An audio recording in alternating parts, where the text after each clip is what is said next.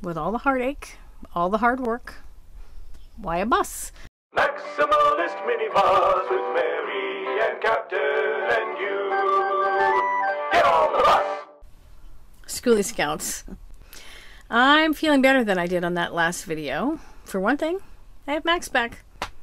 He's not 100%. The wiggle is still, well, it's maybe 90%. 85 probably. But I don't feel like I'm going to veer into the car in the next lane anymore, so I don't think it's unsafe. So that's that's good. And there's still that underlying issue, but I think I have it figured out. Once it's all resolved, I'll tell you what I thought it was and what it actually was. So there's just no point in talking about it till I know because it's just been been too much dark talk lately, and I probably should not have made a video when I was feeling that dark. I always come back up, right? I, think that video maybe seemed like a little more of a cry for help than I meant it to be. That said, I am so grateful for a couple people who sent me PayPal's and Venmos. Bob K was incredibly generous on PayPal. Thank you, Bob. Annika sent a little something. Well, not a little. Annika sent something on Venmo. Thank you, Annika. I got applause from Shining Out Light. Thank you. And I got another applause, but I don't know who it's from because whoever you are, you didn't say who you were, but thank you. And then a ton of you came through with the moral support, which is really the key. Gina, Dawn, Susie, Tim, both of the all three cats, and the dogs. Kathy, Mara, other Mary, Brad, James. Even Camo Dave got in on it. Um, I should stop there because if I name too many people, but I can't name everybody, then somebody's going to feel left out. But I have to mention Tim C., who took time out of his incredibly busy day to talk to me on the phone about all this, and Road Trick Rich, who always goes so above and beyond uh, when he weighs in and gives me so much perspective. I thought that I would just take a few minutes today to address something that came up in the comments, something that always comes up whenever there's bus trouble. The big question that people always ask with all the heartache, all the hard work, why a bus? Bags and fire the engine. Your heart Why not a nice van, you know, like a no build build, whatever? You don't really need a bus to be a nomad. Isn't it just about getting out there? Isn't it just about the freedom?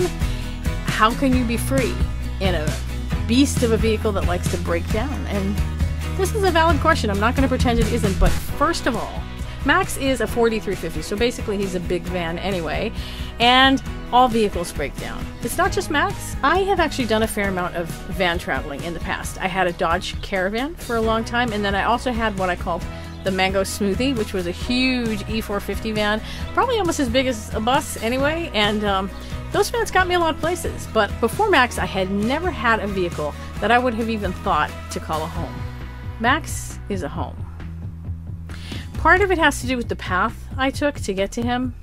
I was looking into tiny homes when the skoolies came on my radar, and I have always loved repurposed things and vintage things. And I was closing down my vintage store, so it just kind of seemed like the perfect transition for me to go into a vintage bus. The aesthetics of my surroundings are really important to me.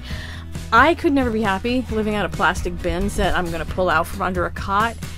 Well, I mean, I could be happy, but it would never be my choice. Let me just put it that way. If I have a choice, I'm always going to pick something that adds to my experience as opposed to something that's a neutral. And I think a lot of people with the no build builds, they want that aspect of life to be a neutral so they can experience other things. I get it. It's just not how I think.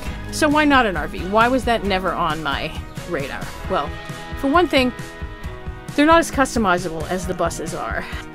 Personally, I don't think they're as safe. I'm not going to get into the reasons why I feel that way.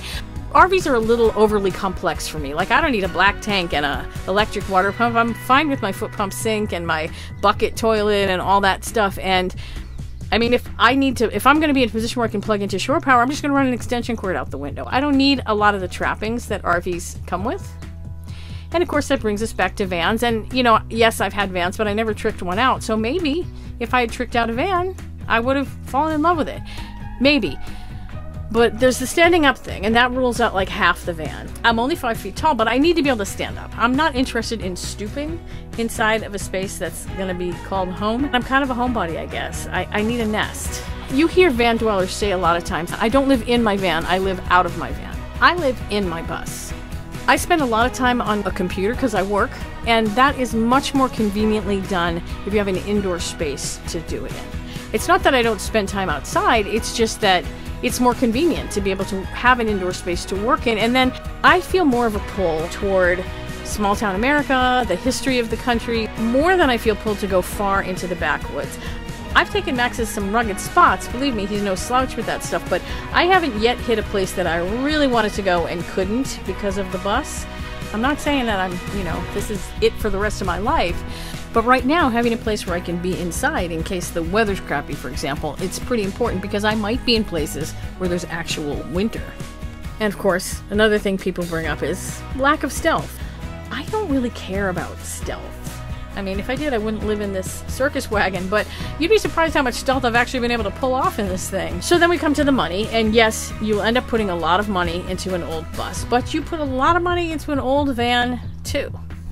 Max cost twenty five hundred dollars, and his transmission went in the first three months, so that was like another twenty five hundred. So I consider my initial outlay to be about five thousand dollars, and you could get a pretty good van for that money. Yeah, but it's still an old van, and any old vehicle is a crapshoot. Um, I probably put about ten thousand dollars in it over the course of the f- next three years, but I'm going to venture to say that a lot of people who buy a van put in about the same amount. And I, I think the thinking about this comes from the fact that, of course, you wouldn't put twenty five hundred dollars into a thousand dollar car. But I don't think you can judge it the same way, especially if you've done a really personal, really customized build. I think of it more the way someone thinks of a house. Like, let's say your house gets termites. Do you just say, okay, time for a new house and walk away? Most people, I think, hire an exterminator. They get it tented if they have to. And I know a lot of people become nomads to move away from those kind of responsibilities, but I've never owned a house, so I'm not running from that particular nightmare. Max has got almost no rust, which is hard to find, and God knows if I stay here in New England much longer, that's probably not going to be true anymore. But at this point, if he became completely unviable mechanically, I could still park him somewhere and use him as a guest house. My build is such that I could pull it out and put it in another bus, but then you're back to the crapshoot of like, what is going to happen with this bus? And the condition that Max is in, it would take a lot for me to really consider getting rid of Max. Now, if that condition changed a lot, if I made a lifestyle change, that might be different. But I'm a skoolie girl.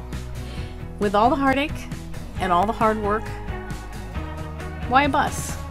Well, I could live without the heartache, but the hard work, that's why I chose a bus. I have loved every minute of turning this bus into my home. Everything about it delights me. And I know how every single thing in it works because I did it myself. I don't know how to do any of this, and I did it. And that's why I chose a bus. If that appeals to you, you might be a skoolie girl too. If that makes you say, oh lord, no, that's not what I want, then you need to start looking for that van or RV. Those of us that are skoolie girls, we know. We know who we are. I want to say thank you to everybody who gave me comments on that last video, even the ones that were sounding the death knell for Max, because you all helped me cement. Yeah, he's not going anywhere. We'll see you next time. Me, Max, and Captain. See you next time.